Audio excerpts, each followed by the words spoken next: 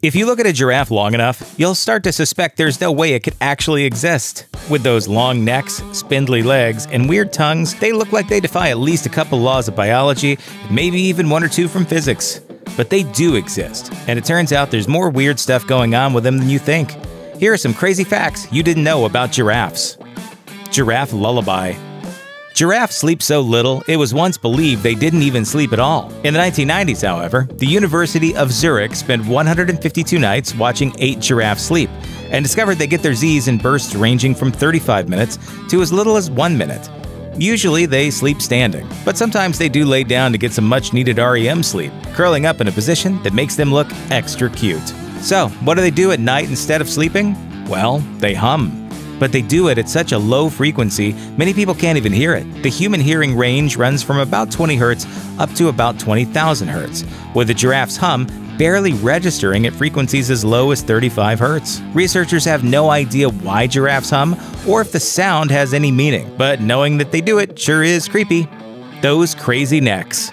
You've probably wondered why giraffes have such insanely long necks and you're going to have to keep wondering because nobody actually knows. It was believed for a long time that giraffes evolved those huge necks so they could more easily graze on treetops, but it turns out they actually prefer eating from lower shrubs, which makes the neck a liability instead of a benefit. Some scientists now think those necks evolved because male giraffes get in violent necking fights to determine primacy, but that theory isn't widely believed either. So for now, it's a big mystery. One thing we know, it's not designed for urban travel.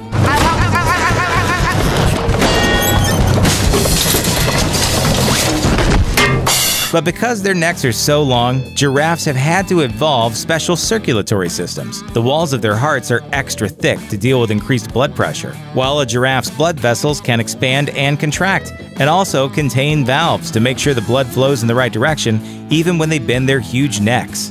And they need it. A human exposed to the same kind of pressure change would pass out. Giraffes through history. Julius Caesar brought the very first giraffe to Europe in 46 BC, and according to contemporary records, the creature was so mellow it was walked like a dog on a leash. The Romans gave it the name Camelopardalis because they thought it looked like half camel, half leopard. The fate of Caesar's giraffe wasn't recorded, but by the 2nd century AD, giraffes were being killed for sport in the gladiator arenas because those people were monster jerks. Giraffes were treated a lot better in China after being brought to the country by an expedition in the year 1413. That's because the Chinese believed giraffes to be the mythical Qilin, a beast said to be part horse and part dragon, with one to three horns, a deer's body, an ox's tail, cloven hooves, and a gentle nature. So, you know, they weren't wrong. The Emperor Yunlong even kept a giraffe around to legitimize his shaky claim on the throne because having a legendary mythical beast in your entourage is always dope, right?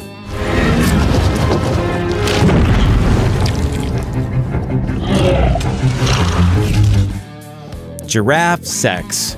If you haven't spent much time thinking about giraffes having sex, well, we're about to change that. Unlike many animal species, giraffes don't have mating seasons. Instead, female giraffes are potentially fertile all year long. Male giraffes figure out whether or not their potential mate is fertile by tasting their pee.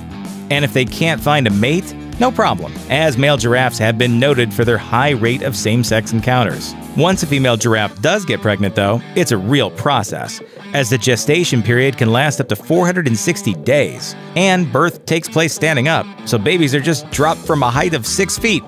Pow! Welcome to the world, kid.